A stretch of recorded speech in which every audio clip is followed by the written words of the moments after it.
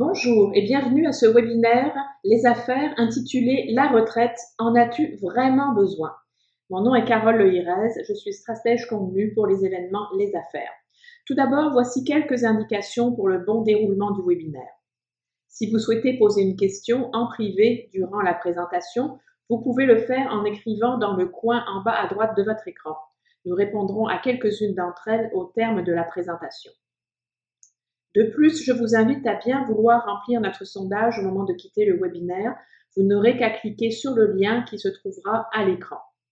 Enfin, il vous sera possible de visionner en différé ce webinaire. Vous recevrez le lien pour le faire par courriel dès demain. Aujourd'hui, nous avons le plaisir de bénéficier de l'expertise de Karine Turcotte, gestionnaire de portefeuille, et de Yannick Clairouin, conseiller chez Gestion de portefeuille stratégique Médici. Sans plus attendre, je leur laisse la parole et je vous retrouve quant à moi à la fin du webinaire pour la période de questions. Merci Carole. Mesdames, Messieurs, bonjour. Ici Yannick Clairouin en compagnie de Karine Turcotte. Bonjour Karine. Bonjour Yannick. Nous sommes euh, respectivement conseillers et gestionnaires euh, de portefeuille pour Mixi, une firme de gestion privée qui gère près de 500 millions pour plus de 400 familles. Depuis sa fondation il y a 10 ans, Médici a enregistré un rendement annuel composé de 15,2% Eh bien, la définition de la retraite a changé. On n'épargne plus pour planifier ses vieux jours, mais bien pour atteindre l'indépendance financière.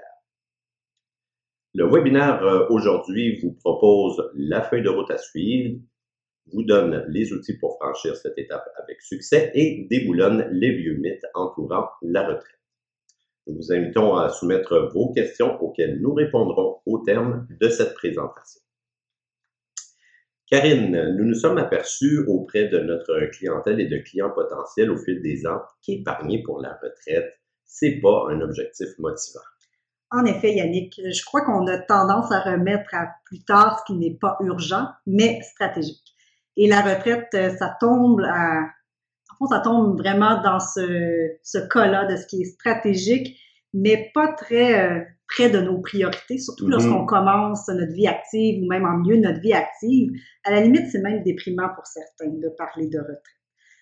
C'était, je peux dire, important pour nous de briser ce cercle vicieux-là euh, pour protéger nos clients, mais en même temps, euh, éviter d'avoir à leur annoncer une mauvaise nouvelle dans le futur quand l'équation ne balance pas. Donc, prévenir plutôt que de guérir.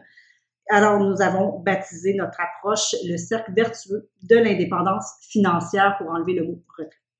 Donc, le cercle vertueux de l'indépendance financière, euh, tu vas nous en parler plus en détail, mais euh, il y a un ingrédient essentiel là, avant d'entrer dans ce cercle vertueux-là, euh, Oui, et on le voit au milieu du cercle, finalement, pour, pour entrer ce qu'on appelle la prise de conscience. C'est mm-hmm. ça l'ingrédient essentiel parce que ça vous prend, euh, c'est la bougie d'allumage pour vous motiver à briser le statu quo, à dire je, vais me fixer un objectif et je vais prendre les moyens pour y arriver.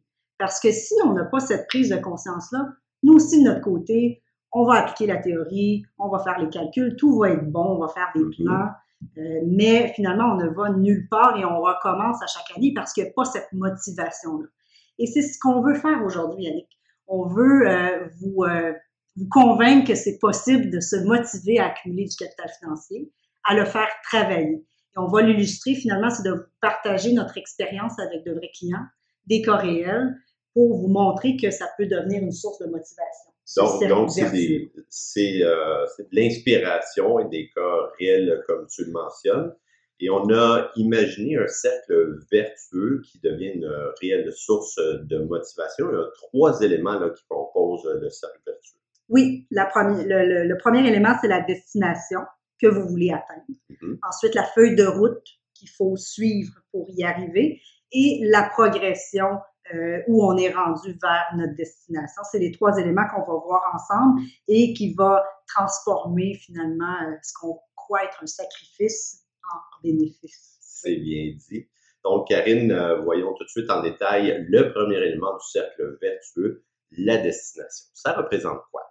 Yannick, c'est ce que ça signifie, euh, par exemple, pour toi, qu'est-ce que l'indépendance financière ou pour quelqu'un d'autre? Chaque définition est propre à chaque personne. Mm-hmm. Pour certains, c'est de travailler à temps partiel à partir d'un certain âge. d'autres d'atteindre un chiffre magique à l'âge de 40 ans, je vais dire un million par exemple. Euh, ça peut être plus tard de bâtir sa fondation pour une cause qui nous tient à cœur. Il y a, un paquet euh, de définitions de la destination, mais je pourrais dire que c'est un objectif qui est concret pour vous et qui vous passionne. Alors, euh, pour certains, c'est sûr qu'on va les aider à trouver une destination. C'est pas évident pour tout le monde de dire ah oui, moi, c'est ça que, que, je veux comme destination. Il faut entamer la discussion, autrement dit, puis aider la personne que la, la, la, personne visualise euh, ce qu'elle veut atteindre. Oui, parce qu'on exclut le mot retraite. Y a une petite portion qui reste que la retraite est claire dans leur mm-hmm. tête, à 60 ans, ils vont arrêter, puis pour eux, c'est ce qui les motive. il y en a beaucoup d'autres que ce n'est pas ça. Et c'est là qu'on a modifié notre approche à dire qu'est-ce qui allume les gens, un par un? Et si on n'a pas encore de destination, ben, on peut commencer par un horizon plus court, dire dans cinq ans où on veut être, ou dans cinq ans, quel montant on veut accumuler. Donc, pour illustrer le tout, Karine, tu nous présentes un cas réel fort intéressant. C'est une cliente qui n'avait pas pour objectif de prendre euh, sa retraite dans un horizon lointain, mais plutôt une année sabbatique dans quelques années. Oui, et aujourd'hui, euh, cette cliente a 51 ans. Elle en avait 43 lorsqu'elle nous a fait part de son projet. Ça fait déjà 7 ans, le temps passe vite. Euh, mais c'était c'était loin parce que c'était pas parce qu'elle n'aimait pas son travail. Elle se projetait plus dans le futur de dire peut-être qu'à 50 ans, je vais être tannée de faire ce que je fais actuellement. Je ne suis pas tannée aujourd'hui. J'aime mon travail, mais je pourrais prendre une année sabbatique, voyager, euh, prendre une pause professionnelle et euh, faire autre chose. J'entends déjà qu'il y a plusieurs personnes qui rêvent tout à coup année sabbatique. Hein, ça doit résonner dans l'esprit. Oui, euh, alors elle nous a fait part de son projet et à ce moment-là, ça devient notre travail à nous de calculer qu'est-ce qu'elle devait faire, quel montant elle devait accumuler dans sept ans pour y parvenir. Donc, euh, comme on peut le voir euh, sur la diapositive, on avait un objectif euh, d'épargne de, 57 000 dollars par an pour s'y rendre. On a mis aussi un objectif de rendement pour illustrer, puis le montant visé du million de dollars. Mais si je comprends bien, Karine, 57 000 dollars par année d'épargne pour se rendre à destination, et atteindre le million de dollars visé, c'est une grosse somme. Oui, l'objectif, on peut dire qu'il est ambitieux. C'est certain que ça demandait de réduire la consommation quand même de façon assez importante, euh, d'épargner une bonne partie du salaire et euh, de discuter aussi avec la cliente c'était quoi la répartition d'actifs qu'elle était prête à avoir pour la gestion de son portefeuille. Répartition d'actifs, la répartition entre les actions et les titres à revenus fixes. Donc, de s'assurer avec elle qu'elle avait le seuil de tolérance au risque à la volatilité. On, dit bien à la volatilité, seuil de tolérance à la volatilité, non au risque euh, proprement dit, par exemple, qu'une euh, entreprise spéculative soit en portefeuille. Oui, c'est notre rôle à nous d'avoir les discussions avec la, cliente pour euh, justement qu'elle comprenne qu'il y a un effet sur le rendement d'être à 100% action, euh, mais il y a un effet aussi sur la volatilité. Et dans son cas, elle, elle avait le seuil de tolérance au risque élevé. Elle était euh, concentrée sur son horizon de 7 ans et euh, pouvait se permettre d'aller avec, avec ce plan-là. Le scénario de départ s'est avéré un petit peu différent. En fait, Madame a été plus économe que prévu. Oui, elle a profité aussi d'une très bonne séquence de rendement. Dans les sept dernières années, on le sait, euh, les marchés ont été favorables. Le portefeuille aussi a généré un bon rendement de 13% par année et la cliente a épargné beaucoup plus que prévu.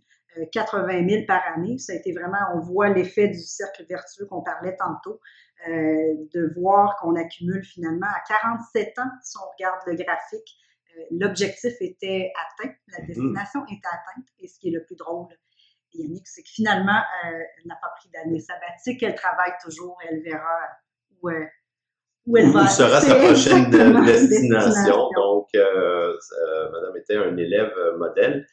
mais Karine, pour arriver à destination, il faut une feuille de route. En quoi ça consiste? Simplement, c'est le plan d'action pour atteindre votre objectif et on va construire la feuille de route avec trois leviers. Les trois leviers sont importants, il faut les utiliser efficacement. Il faut aussi éviter les obstacles qui peuvent nous barrer la route pour chacun de ces leviers-là.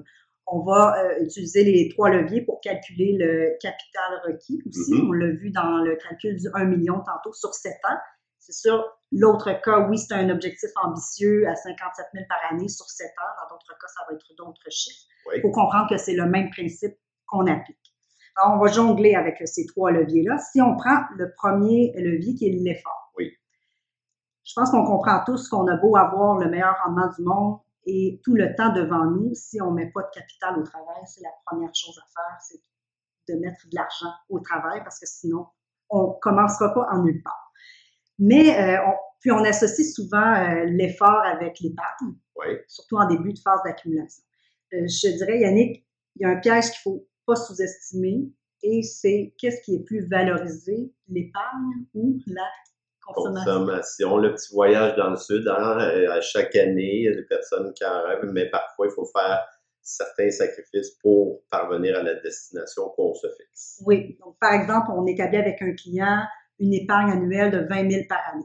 Donc, si c'est de l'épargne réelle, ça peut représenter moins que ça après impôt. Donc, c'est un effort qui est raisonnable. Mais en cours de route, euh, il y a des bonus qui arrivent, tant mieux, il y a des promotions. L'épargne de 20 000 est maintenue, mais c'est plutôt l'achat d'un chalet. C'est un objectif d'acheter un chalet.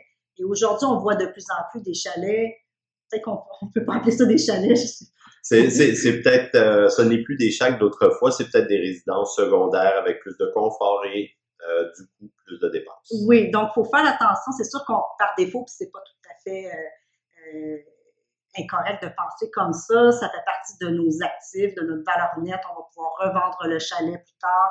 Mais finalement, ce qu'on se retrouve souvent à faire, c'est d'augmenter notre qualité de vie. Il faut faire attention à ce moment-là que l'épargne suivre et que le montant de capital à atteindre, ça va faire partie de notre définition d'indépendance financière, c'est de profiter, finalement, de continuer à profiter de notre chalet. Et au contraire, ça va augmenter notre coût de vie. C'est pour ça qu'on appelle ça l'effort. C'est, oui, c'est de l'épargne, mais en même temps, faites attention aussi au volet de faire suivre votre coût de vie. Euh, ça va avoir un, un effet sur le montant de capital à accumuler. Eh bien, ça nous amène à la question qui tue, Karine. En avez-vous vraiment besoin? Mm-hmm. Expression probablement euh, originaire de nos euh, grands-mères, qui étaient très sages, euh, reprise et popularisée par le confrère Pierre-Yves McSween.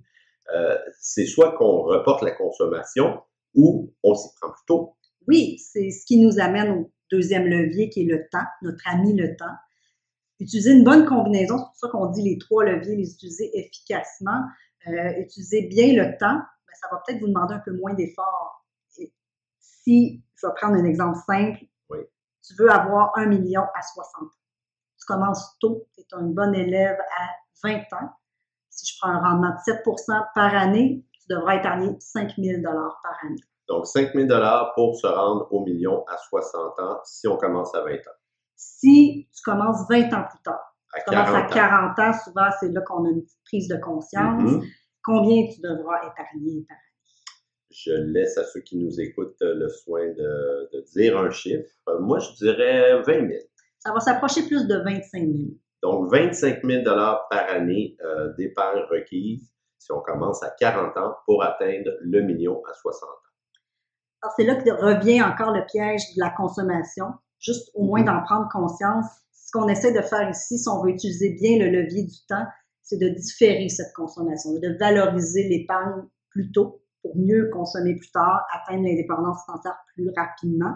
Donc, de regarder les priorités et de, de se motiver de cette façon-là, de dire finalement, ça va me demander moins d'efforts si je prends conscience plus tôt. Donc, de, de, développer un réflexe là, de, de, se payer en premier, de mettre euh, de l'argent de côté euh, le plus tôt possible. Oui, parce que sinon, on peut le subir le temps plus tard. Lorsqu'on arrive en phase de décaissement, on sait, l'espérance de vie augmente, on veut euh, protéger notre capital, éviter de, l'épuiser. On, va vivre quand même longtemps, donc il faut l'utiliser euh, la bonne façon le plus tôt possible. Ben justement, la, longévité augmente, on vit de plus en plus vieux, donc on va avoir de, de moins en moins de personnes ont des régimes qui peuvent assurer leur coût de vie pendant de nombreuses années. Donc, il y a une responsabilité là, qui incombe.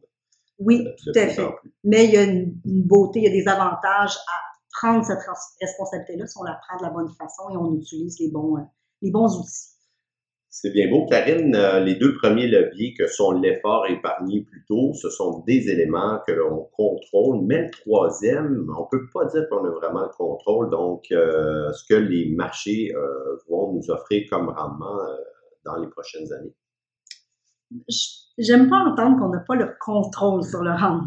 On n'a pas de garantie de rendement futur, comme on n'a pas de garantie sur notre revenu, notre salaire, le travail qu'on va faire, notre santé c'est normal qu'on utilise le rendement avec des hypothèses raisonnables lorsqu'on fait des analyses comme ça de, des plans financiers. On va utiliser aussi euh, des hypothèses raisonnables. Est-ce que ça veut dire, Yannick, qu'on ne vise pas la coupe? Est-ce que ça veut dire que notre rendement, on ne veut pas en avoir pour notre argent? Mm-hmm. et viser à optimiser ce rendement-là, l'utiliser comme un levier?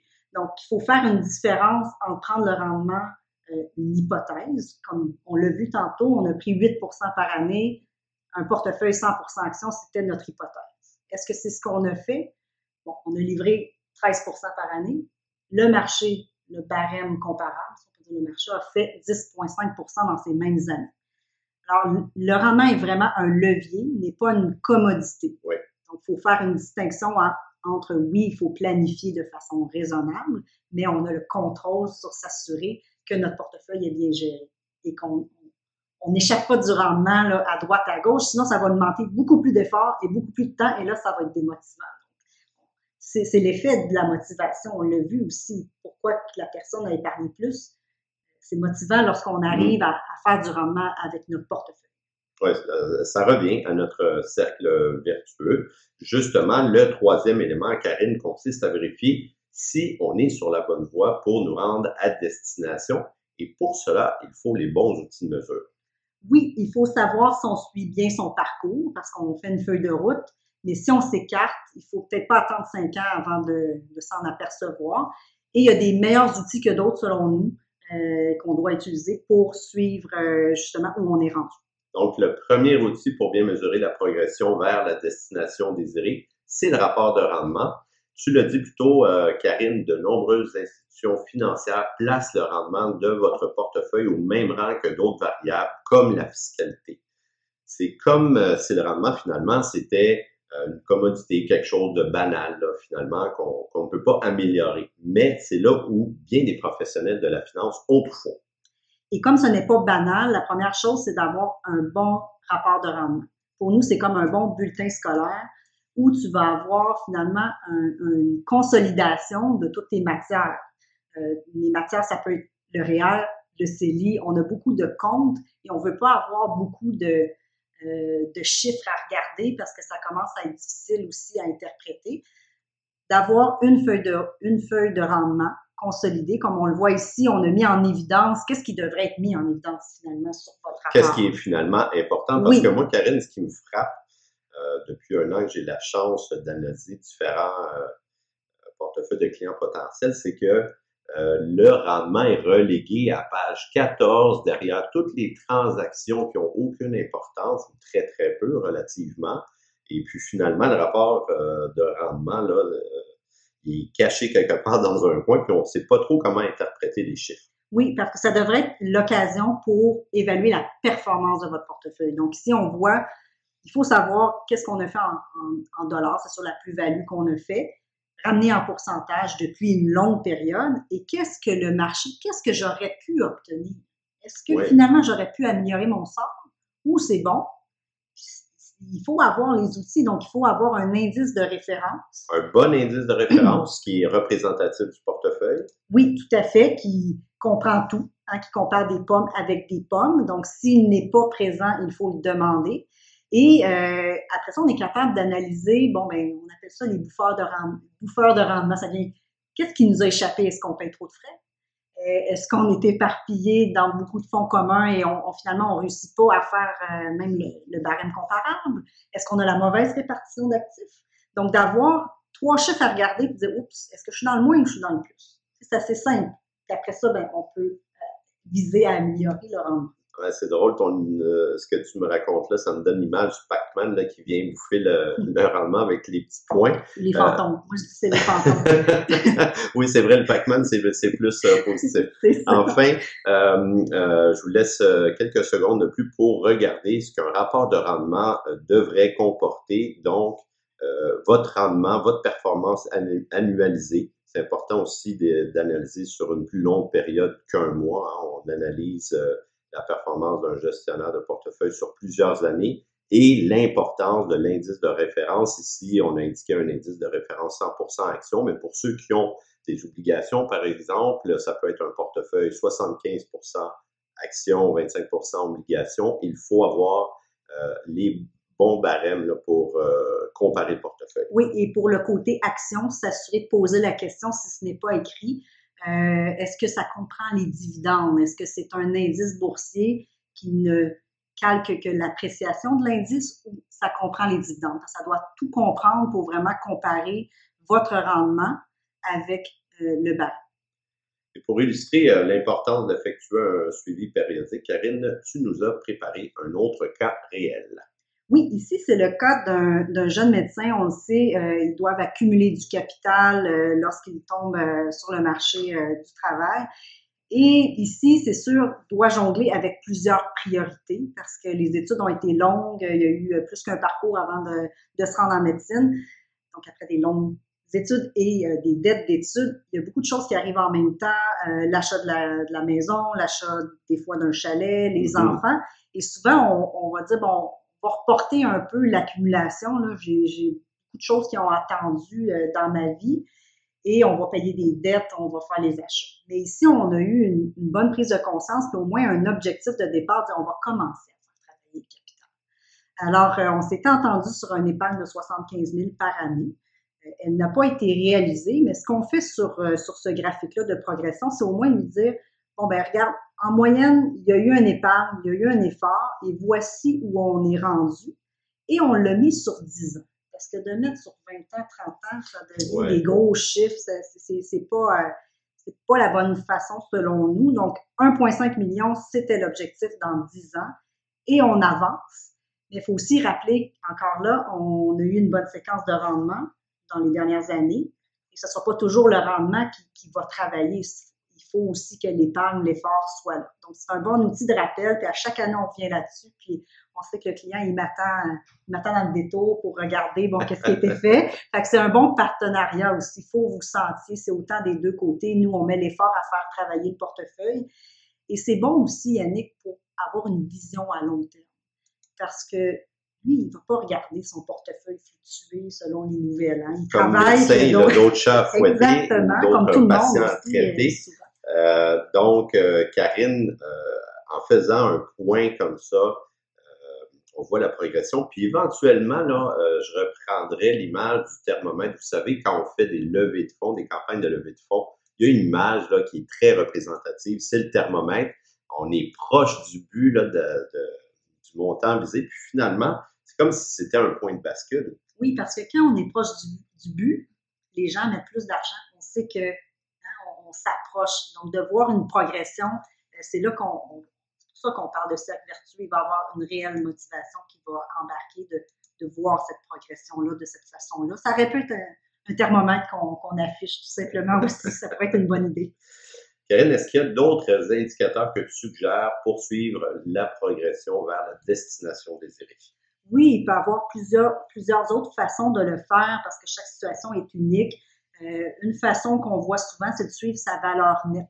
Euh, certains vont avoir des actifs immobiliers, vont avoir un régime de retraite euh, qui vont faire partie de leurs actifs. Donc, les actifs moins les passifs et d'avoir un objectif d'améliorer cette valeur nette-là qui peut être encore le chiffré, 1 million, 1,5 million, peu importe. Et on, on suit l'évolution. Parfois, on change d'emploi. Euh, le régime de retraite va être rapatrié dans le portefeuille, on va mhm. vendre un immeuble ou vice-versa. Donc, le suivi de la valeur nette, ça peut être euh, meilleur dans certains cas que juste suivre le portefeuille.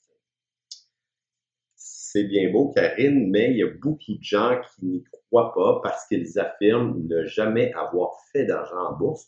Et pourtant, comme on peut le voir euh, sur le graphique suivant, Les clients de Medici, par exemple, qui ont investi en 2009, ont quadruplé le montant placé en 10 ans. Donc oui, c'est possible euh, d'obtenir de bons rendements à long terme. Oui, ce qu'on ne peut pas garantir, je reviens, c'est la séquence des rendements, dans quel ordre les rendements vont se présenter et est-ce que le prochain 10 ans va être aussi bon que le, 10 ans dernier? Probablement non, c'est ça, c'est hors de notre contrôle, mais est-ce que on obtient le meilleur rendement dans ces, dans ces séquences-là? C'est ça qui est important.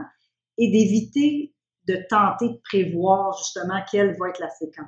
Je reviens à mon cas tantôt, le focus est sur l'épargne, sur l'objectif dans 10 ans et euh, d'épargner systématiquement. On va profiter des bons et des mauvais moments, mais on va avoir notre ligne à l'eau. Yannick, je pourrais te dire, si tu vas à la pêche et que ta ligne est jamais à l'eau, oui, il faut être bien investi, avoir les bons verres. Je connais pas trop la pêche, mais quand même, il faut que, faut que tu aies ta ligne à l'eau. Il faut être investi, être dans le marché, puis avoir une bonne gestion de portefeuille et de pas de pas essayer de prévoir ce qui va se passer sur les marchés. Ben, J'adore ton image, Karine, parce que si tu essaies de retirer ta ligne alors qu'il y a un banc de poissons qui arrive, tu vas les rater, les poissons. Donc, il faut euh, toujours avoir sa ligne, pas tenter de la, retirer en pensant à la prochaine crise potentielle. Parce que, euh, Karine, ce qu'on a observé, puis euh, une foule d'études qui le montrent, c'est que les investisseurs en moyenne sont très mauvais à essayer d'anticiper les marchés et euh, par conséquence, ils obtiennent des rendements inférieurs aux indices de référence, donc à la Bourse de Toronto ou au Standard Poor's 500, tout simplement parce que justement, ils, sortent au mauvais moment et ils entrent peut-être quand euh, la période est plus euphorique. Oui, dans les deux cas, on a vu plus tôt, il n'y a pas eu ce, questionnement-là de est-ce que c'est le bon temps ou le mauvais temps. Puis pourtant, en 2017, en 2018, bon, il, aurait pu euh, dire, ben là, ça s'en vient, ça s'en vient, ça s'en vient, puis arrêter le plan, arrêter l'épargne. C'est pas, euh, pas comme ça qu'on travaille, c'est pas comme ça qu'on arrive à des résultats avec succès. Tu tout à fait raison.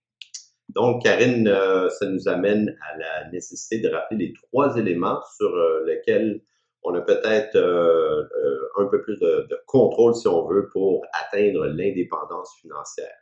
Oui, ben j'en rajouterais un, si tu me permets, Yannick, qui est la prise de conscience. oui, oublier qui transcende tout, Oui, d'oublier d'épargner en vue de la retraite. C'est pas ça qui vous, euh, qui vous allume, d'épargner pour votre liberté financière, votre définition à vous. Euh, deuxièmement, transformer le sacrifice en bénéfice. Hein, c'est de constituer votre régime de retraite, votre régime, je vais enlever le mot retraite, à prestation déterminée, mais pour d'autres choses peut-être que pour la retraite, hein, pour la destination de votre choix, on l'a dit, ça peut être une année sabbatique, une nouvelle carrière donnée à vos enfants, peu importe. Euh, la troisième chose, faites travailler l'argent à votre place. Ne prenez pas le rendement comme une commodité. Occupez-vous de vérifier la performance de votre portefeuille. Et dernièrement, avoir des bons outils pour après ça suivre l'évolution et vous rendre à destination et atteindre le capital. Karine, euh, euh, si euh, les, personnes ne sont pas en mesure de, faire toutes ces choses-là elles-mêmes, elles peuvent transférer le fardeau de la gestion à un bon gestionnaire de portefeuille qui vous aidera à atteindre la destination et qui saura aussi vous rendre des comptes parce que ça, c'est très important. Et à ce sujet, je vous invite à réécouter notre premier webinaire diffusé cet automne qui s'intitulait 5 règles pour s'enrichir grâce à vos placements qui est disponible dans la section guide du site gpsmedici.ca. Bien, euh, Karine, ça complète euh, la présentation d'aujourd'hui. C'est le moment de passer à la période de questions. Nous en avons reçu de nombreuses, donc soyez assurés que si nous n'avons pas le temps de répondre à toutes vos questions, nous y répondrons avec plaisir par courriel à ceux qui le désirent. Merci beaucoup, euh, Yannick et Karine. Euh, pour euh, vraiment vos exemples qui étaient très intéressants. une première question euh, qui, surgit, qui brûle un petit peu les lèvres, quand on n'a pas la capacité, le salaire pour pouvoir épargner des sommes, comme les deux exemples que vous nous avez montés, est-ce qu'on a quand même des, leviers, des choses qu'on peut faire pour, pour essayer de, réaliser nos objectifs? Oui, vous avez les mêmes trois leviers, mais c'est sûr que ça doit être adapté en fonction euh, du salaire, donc de votre coût de vie actuel. Et lorsque plus, le revenu est, est, bas, ben, c'est sûr que là, le remplacement par des régimes euh, de retraite gouvernementaux comme la Régie des rentes du Québec, euh, la sécurité de vieillesse, souvent c'est à, ce niveau-là que là, on, va tenir compte, c'est sûr, de ces régimes-là, mais c'est les mêmes principes qui s'appliquent, c'est peut-être pas les mêmes montants, mais il y a le même calcul, la même destination qui peut être de prendre sa retraite à 65 ans. Ça va dépendre de la capacité et aussi et de l'effort qu'on est capable de mettre selon la situation euh, euh, familiale. Mais on voit des beaux cas avec des petits salaires qui réussissent à s'en sortir. Certaines personnes choisissent aussi d'autres stratégies pour compléter. Si par exemple on n'a pas le, salaire, plusieurs vont aller par exemple dans l'investissement vers un, immeuble à revenu. Est-ce que ça peut être une bonne option? Puis comment est-ce qu'on peut prendre en, compte finalement le, moment, soit une vente éventuelle d'une propriété qu'on a pour éventuellement compléter le, portrait financier? Mais ça serait la même chose que je suggérais euh, de mesurer la performance de cet investissement-là. Si vous voulez aller dans une autre classe d'actifs, donc on a parlé de la classe d'actifs des, valeurs mobilières, si vous euh, allez du côté euh, immobilier, c'est sûr que l'effort, euh, il y a du temps aussi. souvent, bon, ça, peut être cette façon-là, ils vont y mettre du temps et du talent dans ces actifs immobiliers-là. Ils vont se bâtir une valeur nette. Ça revient un peu à ce qu'on disait plutôt de bâtir une progression de la valeur nette. Et oui, euh, c'est cette conversion-là par la suite. Euh, les gens accumulent euh, des actifs immobiliers d'une certaine valeur et vont commencer à les monétiser. Et ça va être leur régime, leur régime de retraite, leur valeur nette. Donc, ça peut être une façon, il n'y a pas une façon exclusive par rapport à un autre, mais la même chose, mesurer, mesurer la rentabilité de ce choix-là par opposition à sûr que dans l'immobilier, on va utiliser souvent, on, a la capacité d'utiliser euh, l'endettement, puis de, il y a ce niveau-là qu'il faut regarder, mais mesurer la performance de, de, vos actifs et suivre, votre valeur On voit souvent le chiffre euh, un petit peu euh, fantastique de, du million hein, qu'on prend en référence pour l'objectif finalement d'accumulation financière c'est finalement cet objectif d'un million là. Est-ce que euh, il, est-ce qu'il est réaliste? Comme pourquoi est-ce qu'on a choisi un million? Qu'est-ce que c'est? Est-ce que c'est pour frapper l'imagination? Sur quoi repose le 1 million en fait? Euh, ben oui, pour frapper l'imagination, mais non, le, le, million, dans le fond, le capital qu'on va, euh, qu'on va calculer pour accumuler, ça, va être converti en quelque sorte en, en rente. on va pouvoir, c'est de vivre de ce capital-là. Par exemple, si on a 65 ans, on accumule un million.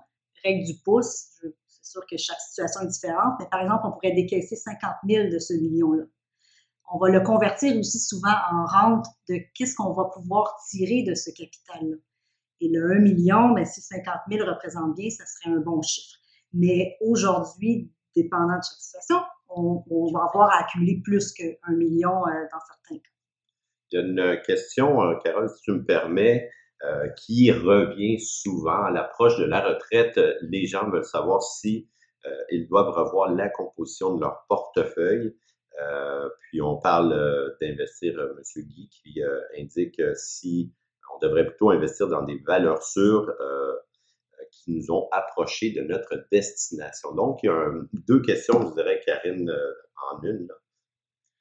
Ben, la répartition, je crois que Guy parle euh, justement de la répartition d'actifs, dire est-ce que je devrais avoir moins d'actions, par exemple, dans mon portefeuille? C'est souvent ce que les gens se demandent. Oui, se demandent, euh, ben là, je tombe, euh, souvent on entend, j'ai plus le temps de me refaire. C'est souvent une phrase qu'on va entendre de dire c'est plus le temps, j'ai plus d'horizon de placement. Mm-hmm. Mais c'est pas vrai qu'à 60 ou à 65 ans, vous allez décaisser complètement le capital accumulé, le mettre en dessous du matelas et ce n'est pas ça. Exactement, c'est que vous allez vivre progressivement du capital.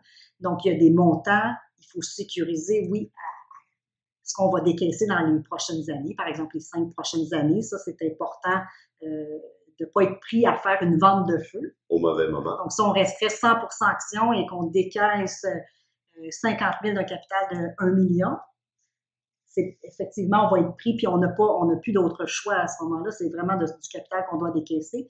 Alors oui, il y a un ajustement à la répartition d'actifs qui doit être idéalement fait pas lorsqu'on décaisse, mais peut-être quelques années d'avance. Euh, et il faut encore là revenir sur les discussions. Qu'est-ce qu'on entend par risque? Ça, c'est crucial. Ça, c'est hein. crucial d'avoir, oui. Parce que euh, la volatilité des marchés, c'est le prix à payer d'être investi en bourse, mais d'obtenir de meilleurs rendements à long terme.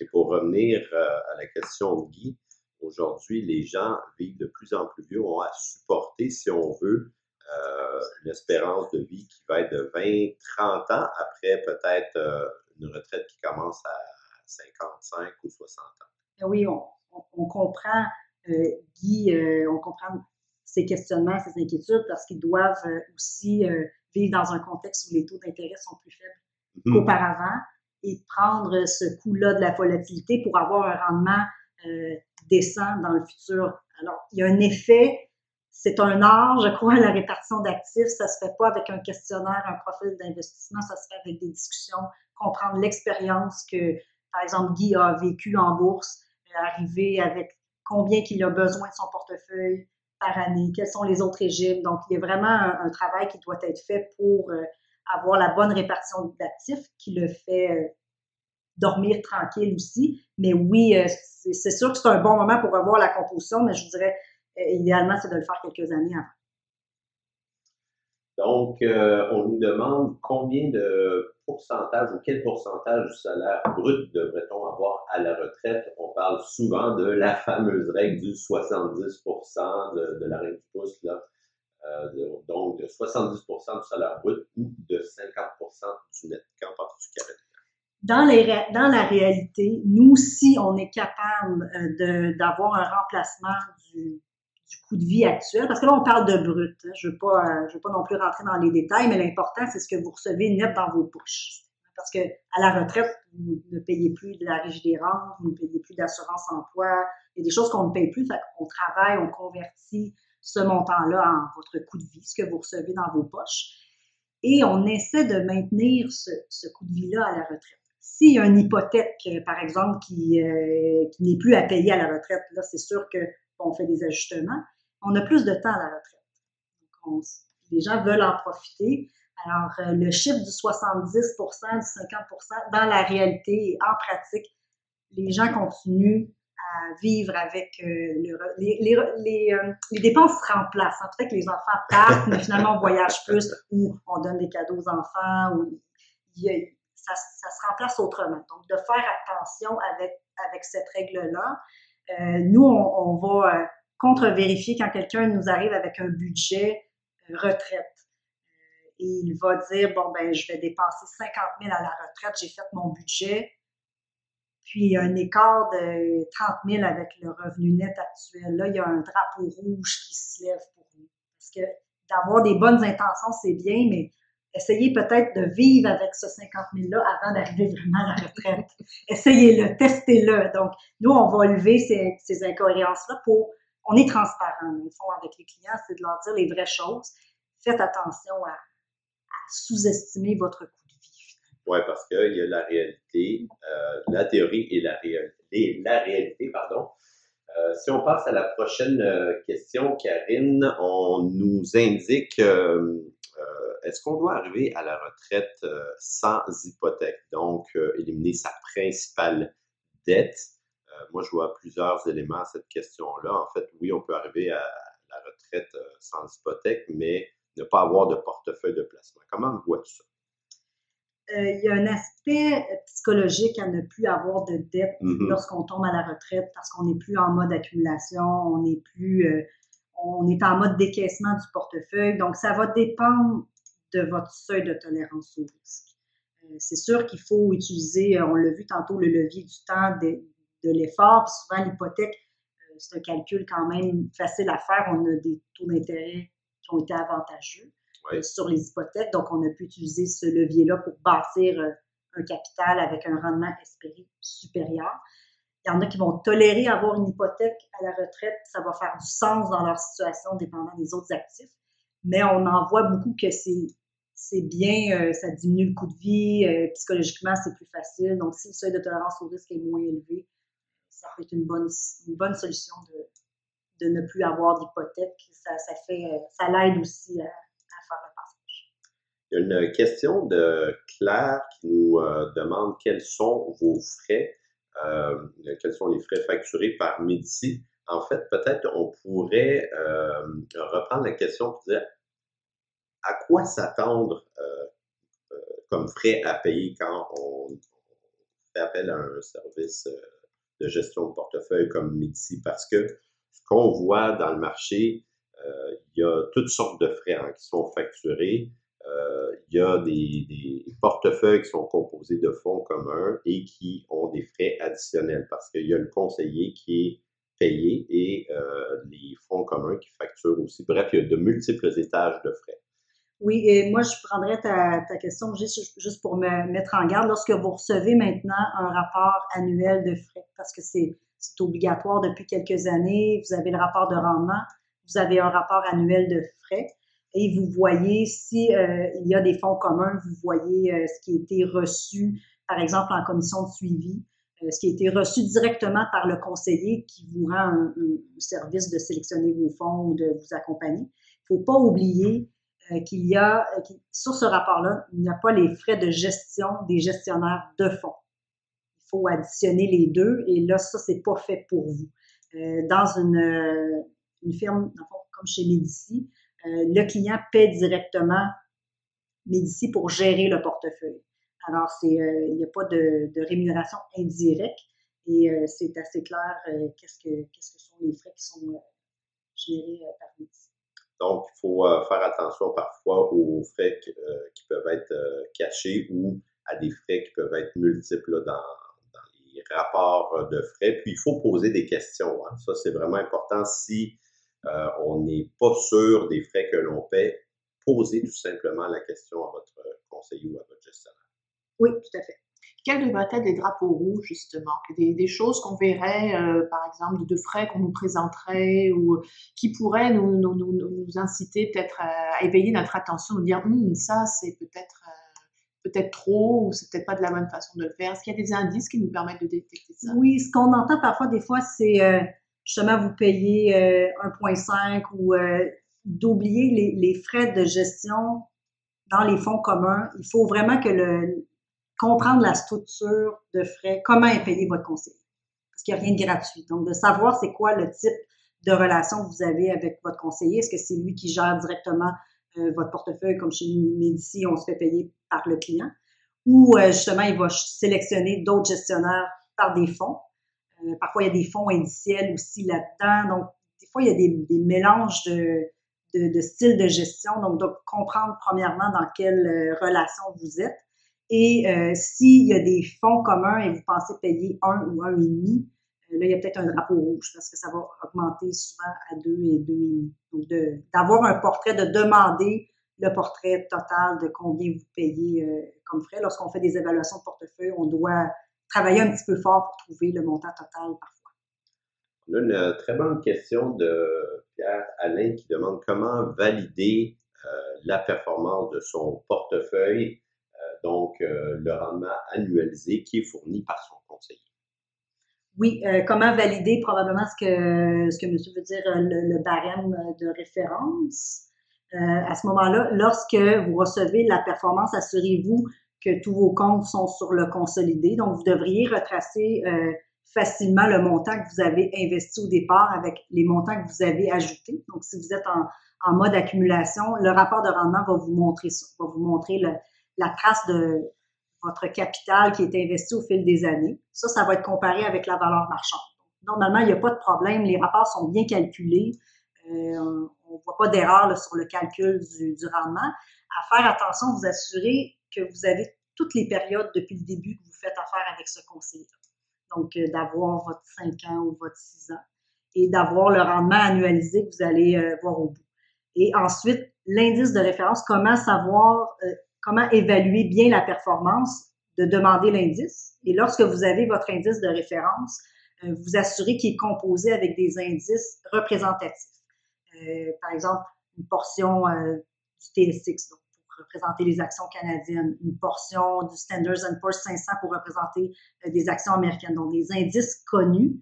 et souvent, dans le fond, nous, Médici, on utilise des fonds indiciels qui sont facilement retraçables. Vous pouvez aller voir euh, les rendements qui ont été, euh, qui ont été générés par les fonds indiciels et ça va comprendre tout. Ça va comprendre le dividende, donc assurez-vous que ça comprend bien le dividende et que ça comprend bien euh, la conversion de devises. parce que votre portefeuille est en devise canadienne et une fois que vous êtes assuré que l'indice de référence est représentatif, vous allez être en mesure de faire la différence et de voir si vous avez obtenu une bonne performance ou non. D'accord. Euh, une autre question qui est plus sur les marchés. Et euh, celle-là, il faut euh, bien insister. Karine, on nous demande quelle est votre vision à court terme des marchés?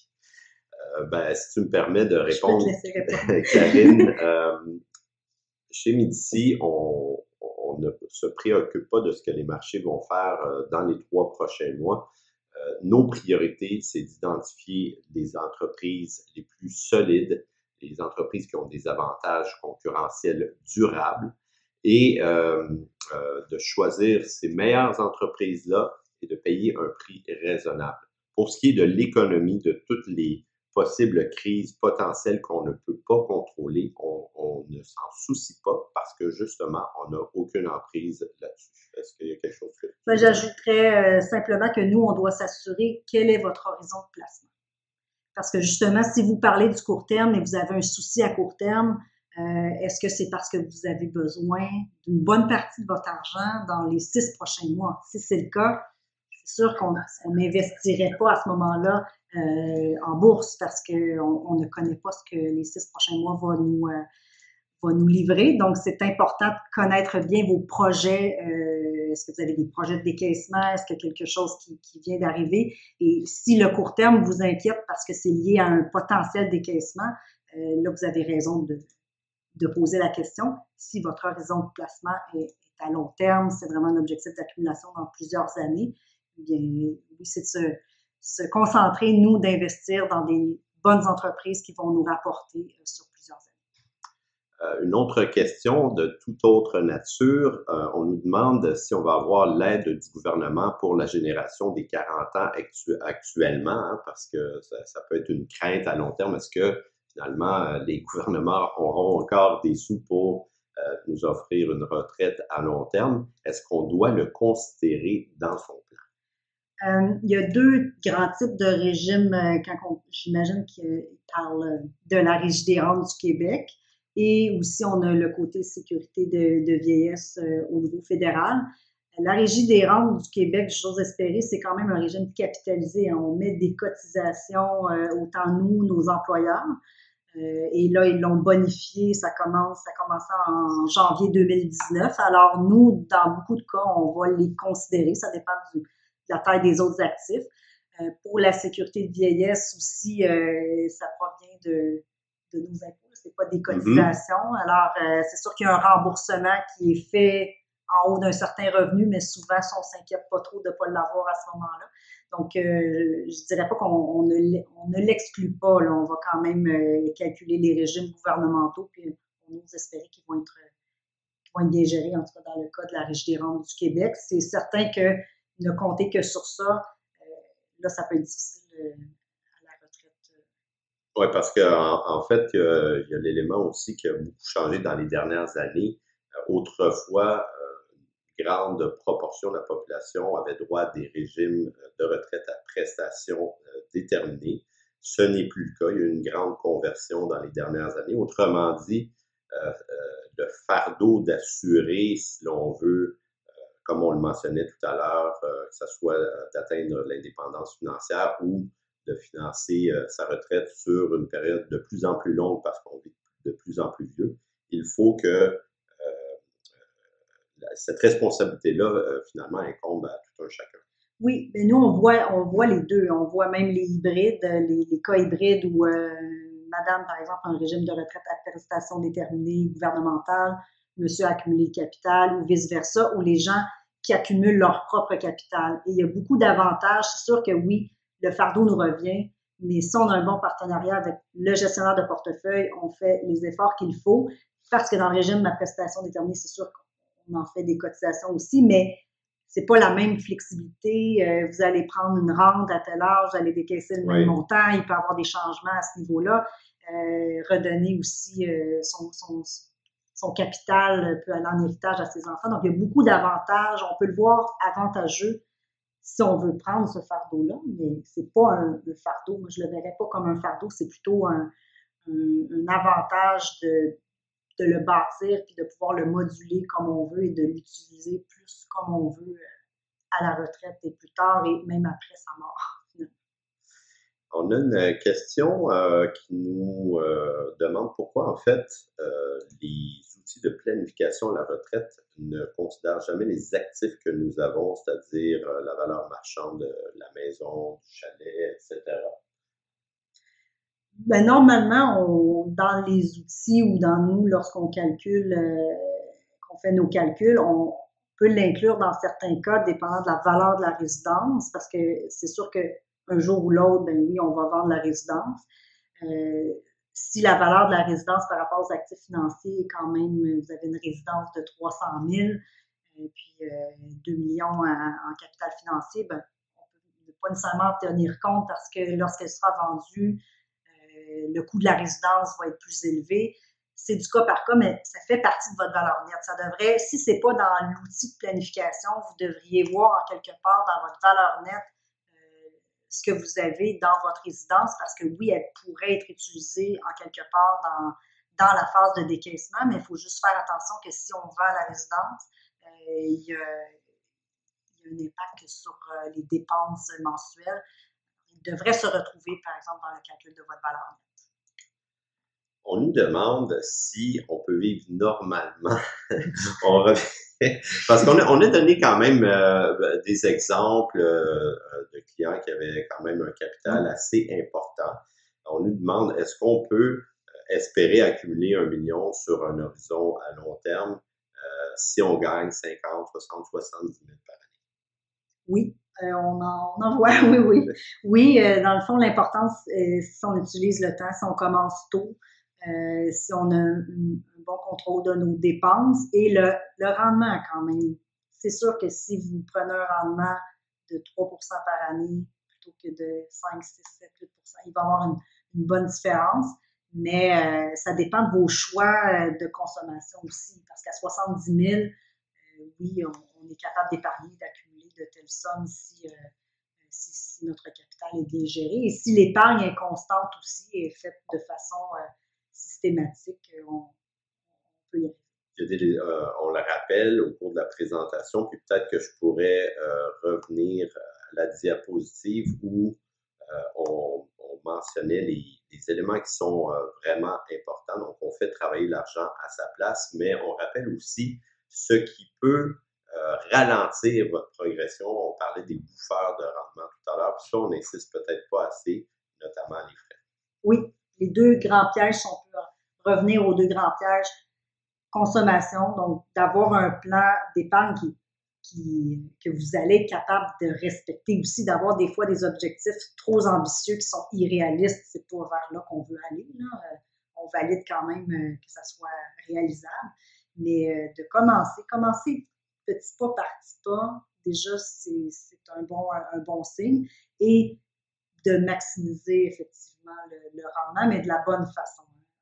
D'investir, d'avoir une qualité euh, de gestion de portefeuille. Il y a un élément, Karine, qu'on n'a peut-être pas abordé puis qui a toute son importance, et c'est pas partout que toutes les firmes, dans le fond, le font de la même façon. Euh, c'est par exemple de maximiser aussi les véhicules qu'on a à notre disposition. Par exemple, euh, d'investir ses meilleures idées de placement dans le CELI ou encore profiter du régime enregistré d'épargne études pour mm. à la fois maximiser les subventions du gouvernement, puis euh, faire travailler ce capital-là à long terme.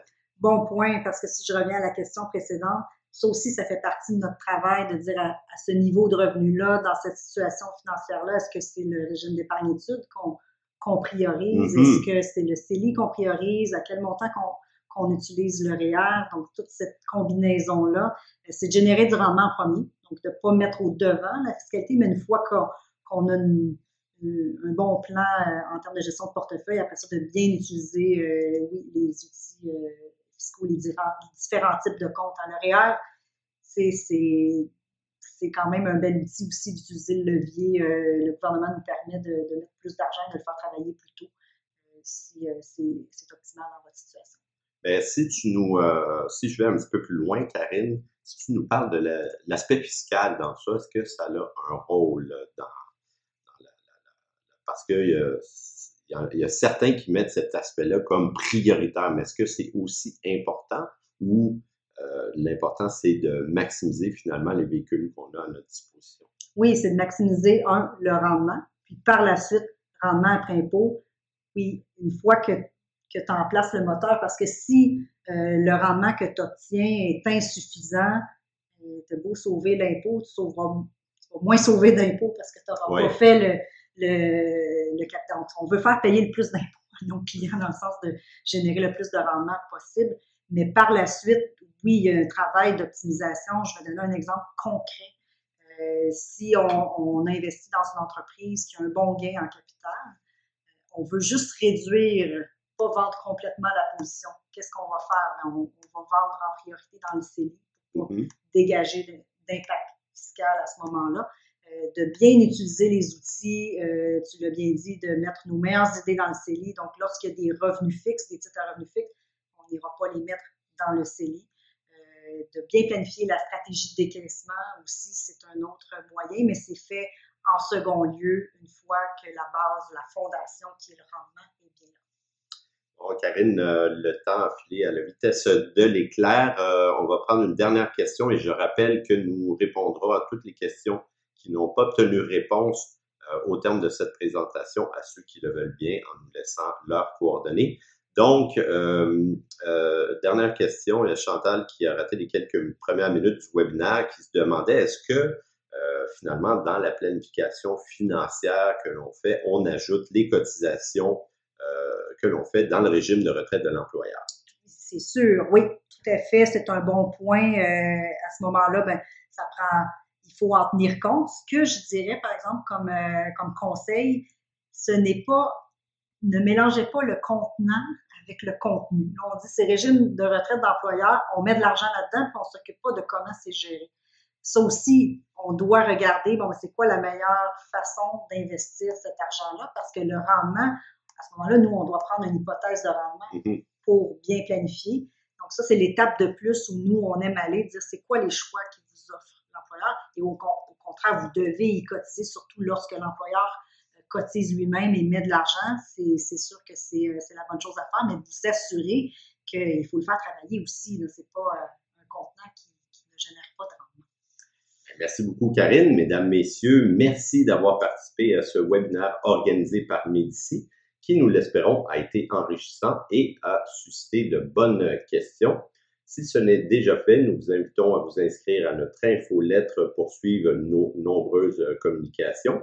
Nous avons une nouvelle page LinkedIn aussi où vous pouvez nous suivre. Et enfin, vous voulez euh, savoir si votre portefeuille est bien géré, eh bien, vous pouvez faire le test de la boussole boursière qui se trouve sur la page d'accueil du site gpsmedici.ca. Ici Yannick Clairouin, Karine Turcotte, merci beaucoup. Merci.